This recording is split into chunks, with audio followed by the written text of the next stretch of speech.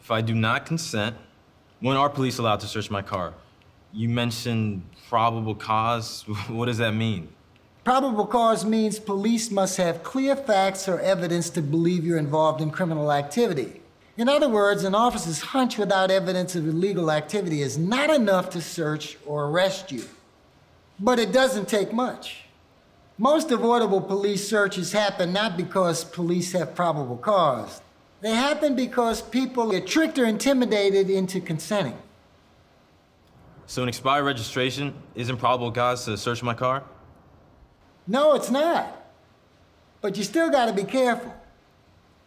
Courts are eager to uphold police searches, so something suspicious about you or your car could be considered probable cause. I'm not the kind of guy to tell you how you should express yourself. Expressing yourself is one thing, but exposing yourself to police by being a public nuisance is ignorant. Everybody knows who I roll with. Rule number six don't expose yourself.